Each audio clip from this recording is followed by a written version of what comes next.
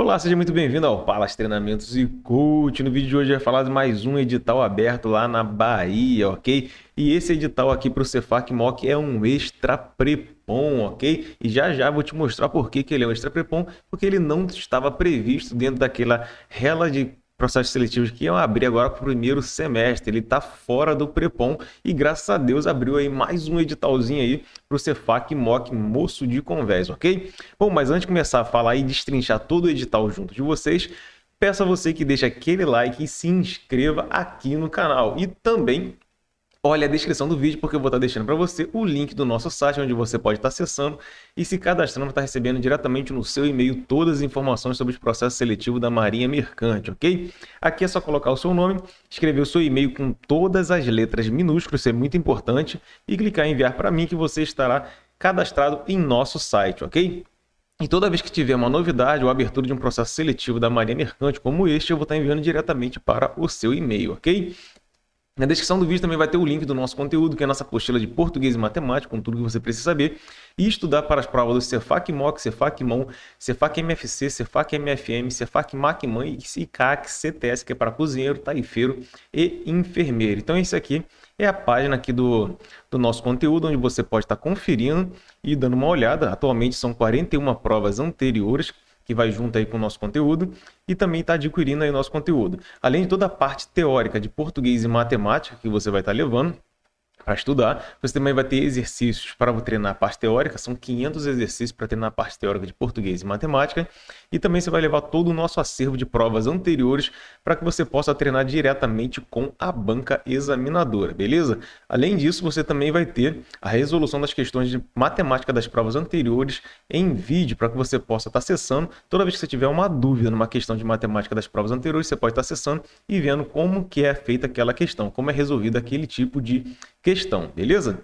Bom, também na descrição do vídeo você vai encontrar aí o nosso grupo do Facebook para o Cefac Mock, Cefac Mon, Cefac MFC, Cefac MFM, Cefac Macman, CAC CTS, CDM, CAC ELT, CAC CTR, ou seja, tudo relacionado à marinha mercante. Toda vez que tiver um assunto pertinente, uma pergunta, uma dúvida ou algo relacionado ao assunto, eu vou estar colocando aqui no grupo. E também, pessoal que deseja também divulgar vagas, de moço de converge, moço de máquinas, oficial, o que for, voltado para a Marinha Mercante, eu vou estar tá colocando. Como está aqui GR Marítimo, postou aqui essa vaga e eu estou colocando aqui no grupo para quem for do interesse, pessoas que já passaram no processo seletivo, já estão formados, estão em busca da sua colocação no mercado pode estar tá aqui também no grupo, eu vou estar tá divulgando, ok? E também na descrição do vídeo vai ter o link aí do nosso Instagram, que a gente faz divulgação dos processos seletivos e também responde a pergunta do pessoal, as perguntas do pessoal em vídeo, beleza? Dito isso, vamos falar sobre esse edital, correto? Mas antes, só para mostrar aqui porque que ele é extra Prepon, aqui no Prepon, ó, Cefac Moc só estava previsto agora para o primeiro semestre em Angra do Reis, Rio de Janeiro, Vitória, Parnaíba, Rio Grande, Rio Grande do Sul, né? É, São Sebastião e Cefacmon no Rio de Janeiro. Não estava previsto na Bahia. E graças a Deus abriu esse extra prepom aqui, beleza? Então, para a gente acessar o edital, a gente tem que entrar no site da Capitania dos Portos da Bahia, né? Que a gente escreve aqui Capitania, cadê? Portos de Salvador, cadê? Portos, escrevi errado. Portos, só vou até deixar já aqui, né? Porto Salvador vai entrar no Catena dos Portos da Bahia. Só lembrando, esse link aqui vai estar na descrição do vídeo. Então, se você não quiser acessar pelo Google, é só ir vir na descrição do vídeo que vai ter esse link aqui. Até aqui eles já colocam, cadê? Olha lá, portaria do dia 19 de agosto de 2022, estabeleceu o período... Não, não, não tá aqui não. Então vamos lá, vamos fechar isso aqui.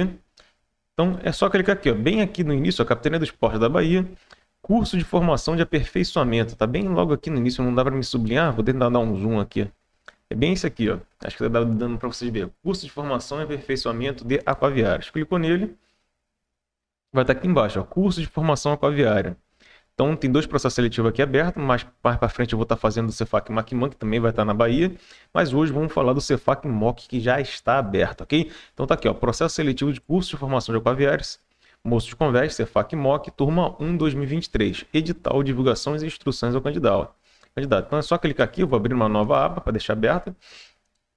E tá aqui, ó, edital. Vou dar um zoom. Normalmente 183% fica bacana. Não sei se nesse aqui vai ficar bacana.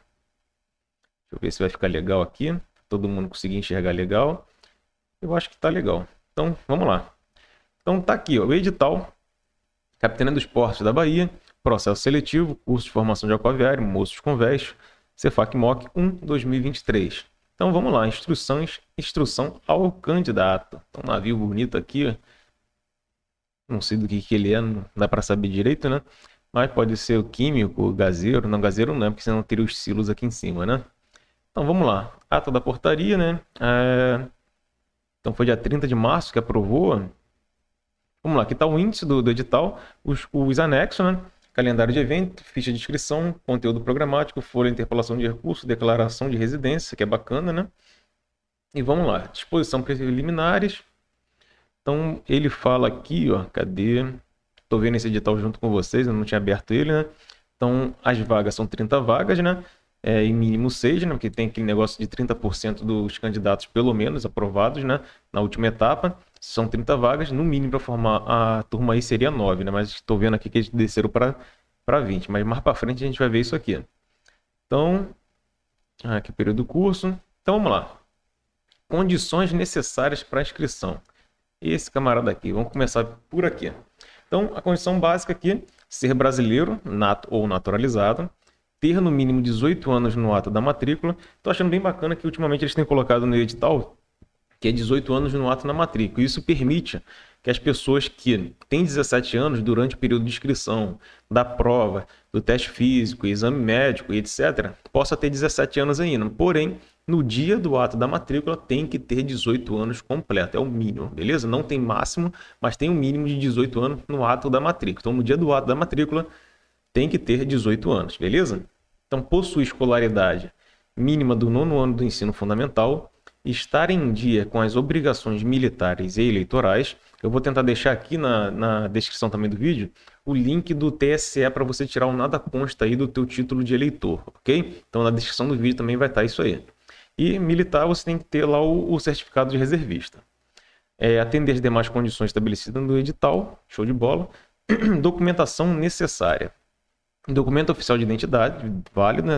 É, válido com certeza, né? Duas fotos 3x4 cadastro pessoa física, normalmente isso tem na identidade já, né?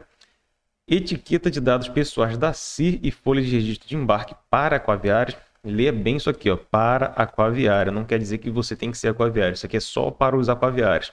Lembrando, pode ter é, alguém que seja já, já seja marinheiro auxiliar de converge, marinheiro auxiliar de máquinas, pescador ou da parte fluvial que esteja fazendo esse, esse processo seletivo. E eles, por já ser aquaviário, já ter uma CIR, eles têm preferência e, e precedência ali na hora do critério de desempate. Então, se tiver alguém que já é aquaviário e empatou com alguém que não é aquaviário no número de questões de português e matemática, então ele vai ter precedência ali e ele vai estar acima daquele que não não é aquaviário, ok? Então é só para isso. E se empatar duas pessoas que são aquaviárias em questão de matemática e português, o desempate entre esses dois aquaviários vai ser o tempo de embarque. Por isso que ele pede a CIR e o registro de embarque comprovante de conclusão do nono ano do ensino fundamental histórico escolar, comprovante de residência, e no caso aqui, ele já vi que no, no, anexo, se você não tiver um comprovante de residência no seu nome, ele vai dar um, aqui um, um, um, um dos anexos, que é para você substituir a sua aí, a sua, o seu comprovante de residência. Você vai preencher e aquilo vai servir como o seu comprovante de residência, ok? Então, é, certidão, certidão de quitação eleitoral, como já falei, no, na descrição eu vou deixar ali o site do TSE para você estar tá preenchendo e tirando o seu nada consta, ok? É, certificado que comprove que o candidato de sexo masculino está em dia com as obrigações militares, que é o certificado de reservista, guia de recolhimento da União, no valor de R$ reais que eu vou mostrar no final de tudo aqui. Eu vou estar tá mostrando como você está fazendo o pagamento aí da GRU e ficha de inscrição devidamente preenchida, que é o anexo 3, beleza? Então vamos lá. Então mais para frente ele deve falar que isso aqui são as condições é necessária, né? A documentação que tem que levar. Eu acredito na, na etapa de inscrição ele deve falar como que você vai fazer essa inscrição. Se vai ser presencial, se vai ser pelo correio, se vai ser pela capitania mais próxima, ou se vai ser pela internet. Então a gente vai ver já já. Então vamos continuar lendo aqui o edital para estar tá tirando as dúvidas. Então, processo seletivo. O candidato não poderá alegar desconhecimento das normas de editais. Tá, beleza, isso aqui normal, né? Vamos ver aqui. É... Vamos ver. Primeira etapa. Primeira etapa é entrega da documentação. Então, Vamos lá, primeira etapa, entrega da documentação. A entrega da documentação para inscrição deverá ser realizada presencialmente no balcão de atendimento do ensino profissional marítimo, EPM, da CPPA, que é a Capitania dos Portos da Bahia, no período de dia 20 do 4 até o dia 22 do 5. Então ele dá os horários aqui de funcionamento, né? Então, primeira etapa aqui, você pode levar presencialmente. Você levar toda a sua documentação e lá fazer a sua inscrição. Outro critério aqui que está aqui, ó, ou por meio dos correios ou ainda por, pelo envio da documentação por meio de uma capitania, delegacia ou agência mais próxima de você. Ou seja, você pode levar lá presencialmente fazer sua inscrição, ou você pode estar tá pegando toda a documentação e está enviando pelo correio. Lógico que ele deve falar mais aqui para frente aqui, que se for enviar pelos correios, toda a documentação tem que estar tá autenticada em cartório, ok? Ou você pode estar enviando também através de uma capitania, delegacia ou agência mais próxima de você. Exemplo, eu sou aqui do Rio de Janeiro. Se eu quiser fazer essa, esse processo seletivo, eu posso ir na capitania dos portos do Rio de Janeiro, levar toda a minha documentação. Lá eles vão fazer o cara crachar, né, fazer a autenticação na hora, e eles vão estar enviando para a capitania dos portos da Bahia, ok? Então tem essa alternativa aí. Então vamos continuar lendo aqui. Os documentos devem ser enviados em envelope único para a Capitania dos Portos da Bahia, situado na avenida. Ele dá aqui o endereço da Capitania dos Portos da Bahia, ok? Então vamos para as observações. Ele deve falar aqui isso.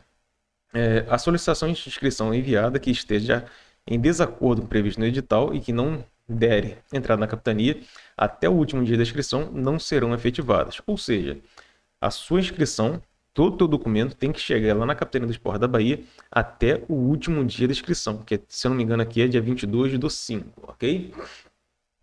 Vamos lá. Toda a documentação enviada pelos Correios deverá estar autenticada em cartório.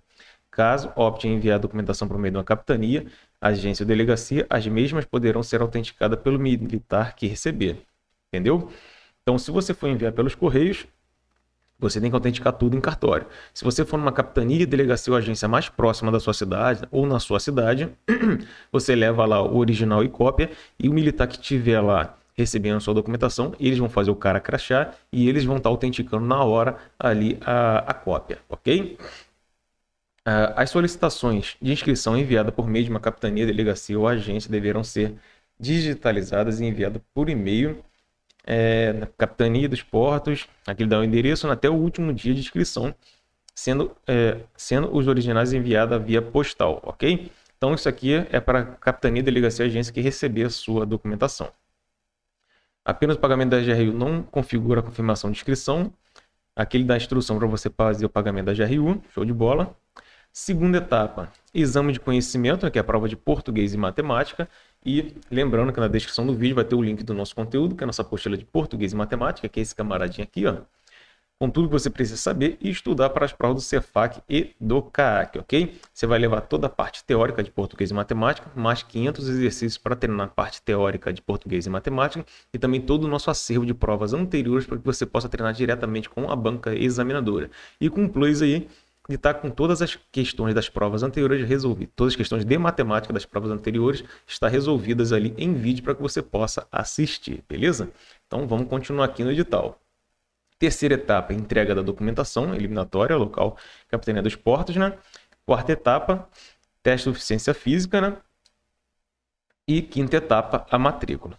É, a teste de eficiência física eles vão falar com certeza um pouquinho mais para frente, beleza? Então a gente vai entrar em detalhes. Vamos lá, distribuição das vagas. O processo seletivo destina-se a selecionar candidatos para o preenchimento de 30 vagas do curso de formação de alpaviário, Cefac e MOC, né, sendo necessário no mínimo 20% dos alunos matriculados para a realização do mesmo. Ou seja, normalmente são 30%, eles, eles solicitam né, no mínimo para formar a turma. Nesse caso aqui, eles botaram 20%. Show de bola. Reduziu um pouquinho mais, é mais fácil abrir uma turma, ok? Então vamos lá, exame de conhecimentos. O exame de conhecimento será composto de uma prova escrita de matemática de português do ensino do nível do nono ano, do nono ano antiga oitava série, do ensino fundamental, a ser realizada no dia 18 do 6. Já tentei a data da prova. Horário das 9 às 12, 3 horas de duração, e está aqui. Então, a prova escrita aqui, né? Programa está é, programa tá no anexo 3, tudo que você precisa saber lá, né? O que você deve estudar. Aqui material para você fazer a prova, né? Vamos ver aqui se dá mais algumas informações não sei, aquele não disse quantas questões vai ser de português e quantas questões de matemática, né? Não, não falou. Então, Depois lê isso aqui, o que é importante, informações preliminares para a realização da prova, lê isso aqui tudo com detalhe, isso aqui é importante. É, ele não falou aqui a quantidade de questões.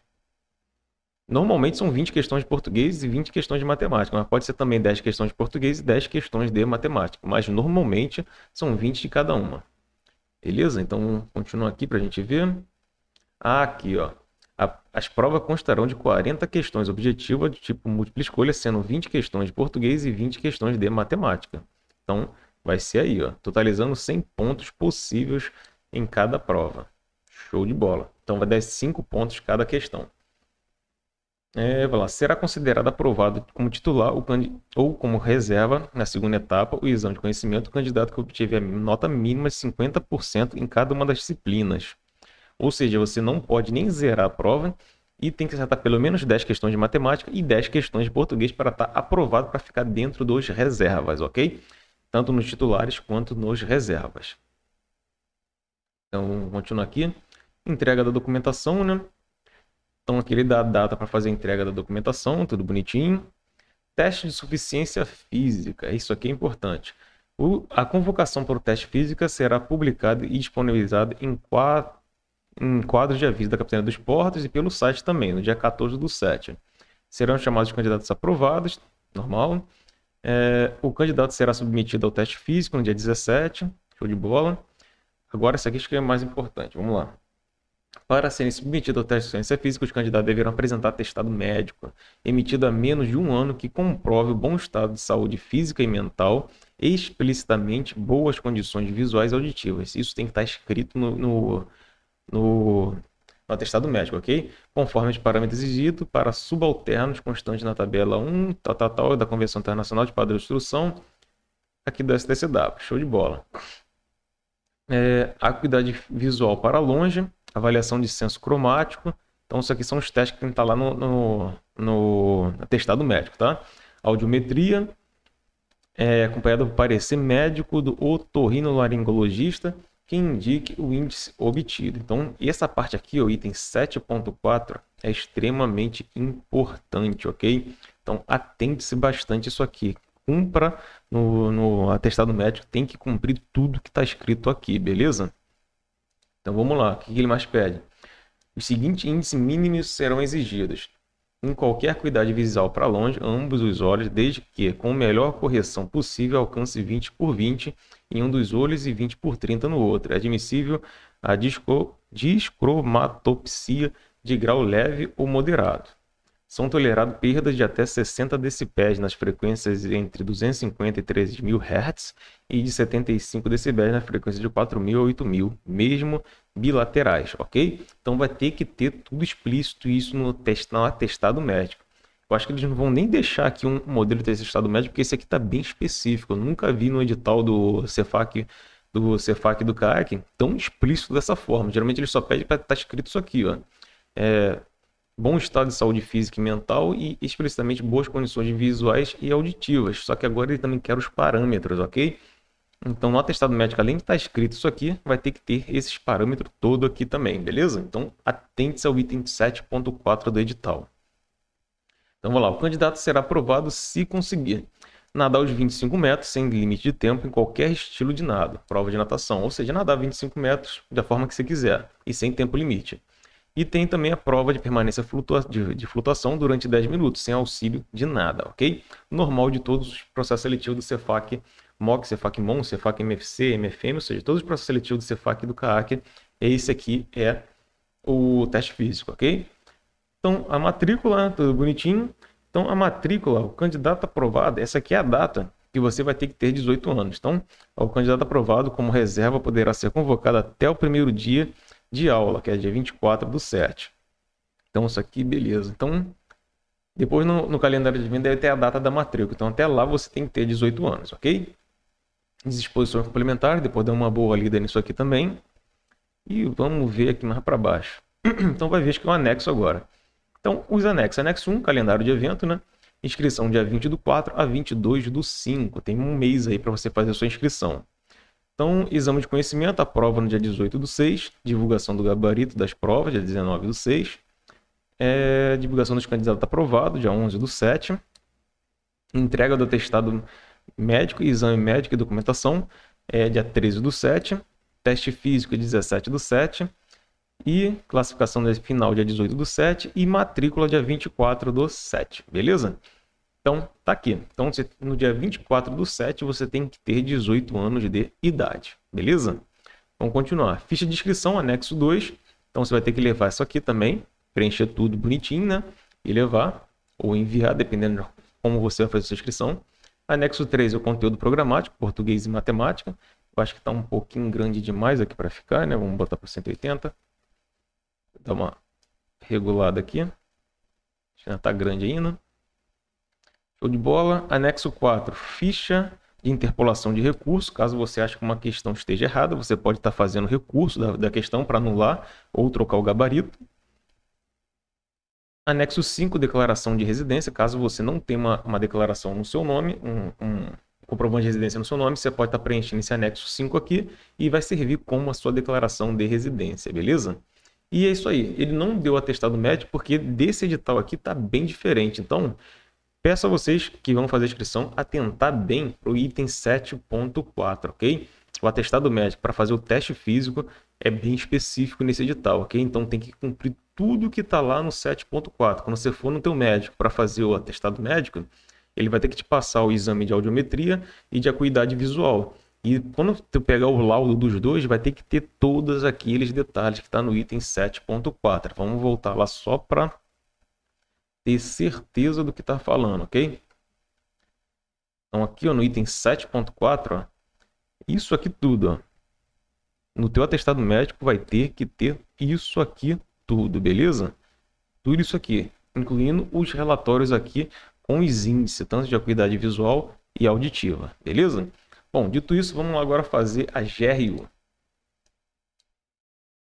GRU você tem que entrar no site da DPC Marinha, site da DPC. Caso não lembre, tá lá na descrição do vídeo também do site da DPC. Clicou no primeiro link aí, você vai entrar, ó, fecha aqui, nesse, clicar nesse códigozinho de barra aqui, ó, serviços da diretoria. Clica no código de barra, vai entrar nesse site aqui, é, GRU, Guia de Recolhimento da União, vai clicar em Serviços Administrativos, Educacionais e Vistorias. Aqui nessa parte, só clique em Li Concorde e clique em Continuar. Depois, a organização militar tem que ser a Capitania dos Portos da Bahia. Beleza? Então vamos procurar aqui, Capitania dos Portos da Bahia. Cadê Bahia? Bahia, eu sempre me enrolo para procurar isso aqui, cara. Bahia, tá aqui, ó. Capitania dos Portos da Bahia. Categoria é aquaviário. Tipo de serviço, educacionais. Item do serviço é o de R$ reais. Inscrição do, em cursos do EPM, R$ reais. Depois é só preencher aqui, ó, número do teu CPF, teu nome completo, telefone, e-mail, seu sexo, CEP, endereço, número, complemento, bairro, município e UF. Escolher uma forma de pagamento. Só lembrando o seguinte, se você pagar com Pix ou cartão de crédito, quando você fizer o pagamento, vai aparecer na tela que o pagamento foi concluído, ok? Então imprima aquela tela, porque nessa tela, se você pagar pelo Pix ou pelo cartão de crédito, tem o número da GRU e é extremamente importante você ter o um número da GRU que você pagou, ok? Isso que vai servir para você fazer a sua inscrição, incluindo o comprovante de pagamento. Você tem que ter os dois, né? Tanto a tela ali, se você pagar pelo Pix ou cartão de crédito, a tela tem um número da GRU, então imprima a tela do computador, ok? Ou se você pagar por um boleto bancário, o boleto bancário você vai ter que imprimir mesmo. Vai ter que imprimir o boleto bancário, lá também tem o, nome, o número da GRU. Você vai pagar numa lotérica, vai pagar no, nos correios ou vai pagar numa agência bancária. Então, ou online, o que for. Mas você tem que ter o boleto e também o comprovante de pagamento, beleza? Então é assim que você faz a GRU, ok? Bom, era isso que eu queria mostrar aos senhores. Edital aberto aí para o Cefac MOC na Bahia, Catena dos Portos da Bahia, que é em Salvador, beleza? Bom, só para não esquecer, deixa seu like, se inscreve no canal. Dá uma olhada na descrição do vídeo, vai ter o link aí do nosso site, onde você pode estar acessando e se cadastrando para receber diretamente no seu e-mail informações sobre o processo seletivo. Também vai ter o link da nossa apostila, vai ter o link do nosso grupo no Facebook, deixa eu subir aqui, para mostrar a carinha dele, e também o link aí do nosso Instagram, beleza? Bom, era isso que eu queria mostrar aos senhores. Fiquem com Deus, espero que tenham gostado do vídeo e até a próxima.